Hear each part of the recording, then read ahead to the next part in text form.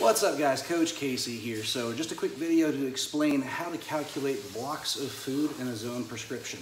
So the yeah, Dr. Barry Sears was the founder of the Zone Diet and it's essentially a great place to start for most people because it's a balance between carbohydrates, proteins, and fats and something that you can mathematically adjust easily as time goes on. So we're gonna start off with what is a block of food. So a block of food is gonna be seven grams of protein, plus nine grams of carbohydrates and one and a half grams of fat.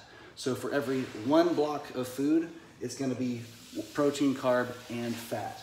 So, so uh, let's do the math. Now, you, uh, now, in order to calculate this, you're gonna need to know exactly how, about how much body fat percentage you have. You can estimate it, but ideally you wanna use some type of device or some type of uh, uh objective measurement whether it's uh, impedance analysis on a scanner like an InBody or doing some type of hydrostatic weighing. Uh, if you really want to go all in, you can always do a DEXA scan. Um, but either way, you need to know the approximation of how much body fat you have in order to really get an accurate idea as to what we're working with. So, so let's say we have a 200 pound athlete. So, and this athlete has 10% body fat. So that means 200 pounds, 10% of 200 pounds is gonna be 20 pounds. So he has 20 pounds of body fat. So 200 pounds of body weight minus the, 200, uh, the 20 pounds of body fat equals 180 pounds of lean body mass. Really important uh, number here because the number of grams of protein for weight loss is going to be about 0.7 grams of protein. So, so the 0.7 grams of protein per 180 pounds of lean mass comes to 126 grams of protein per day. Now, we divide that 126 by 7 because uh, it's 7 grams of protein per block of food. So the 126 divided by 7 comes to about 18. So now I know I need 18 blocks of food per day. So the 18 would be multiplied by 7, which is 126.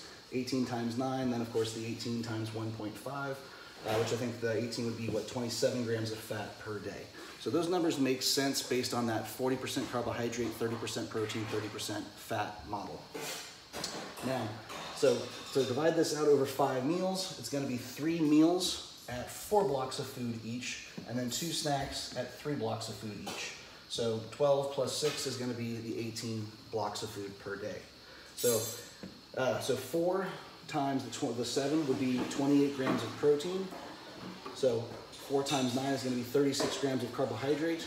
And then 4 times 1.5 is going to come to 6 grams of fat per day.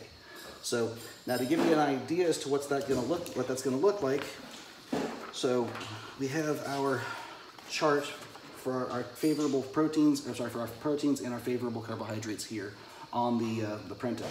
So, so it's going to be 4 four blocks times the protein. So these serving sizes are gonna give you the, uh, the amount of protein, the amount of carbohydrates, and then the amount of fat that you need to have per meal. So four times the seven is 28. So one gram, uh, sorry, one ounce of beef is going to be uh, one, one block of protein. Multiply that times four. So it'd be four ounces of beef.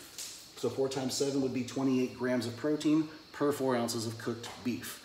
So same thing for your chicken, same thing for your fruit, uh, your seafood, anything that you want to have. It would be four times this. So then you'd come over, and our rule, guys, is going to be one starch, and then the rest of your blocks of carbohydrate being your start, uh, uh your fibrous carbs. So if you're going to do a, uh, a sweet potato, which is going to be your most ideal one, about the size of your fist would be your one block of, uh, of uh, uh, starchy carbohydrate, and then the rest of it would go through uh, with your fibrous carbs, things like broccoli, cabbage, any type of leafy green vegetable.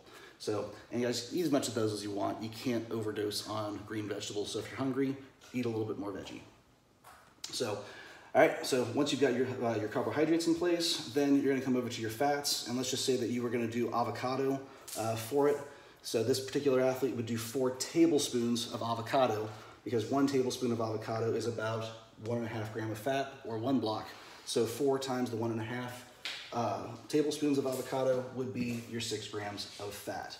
If you were doing something like almonds, it would be four times three almonds, because three almonds make up about one and a half grams of fat. So the four times three would be 12. And, uh, and I'll give you a practical application here in the next video. So, all right.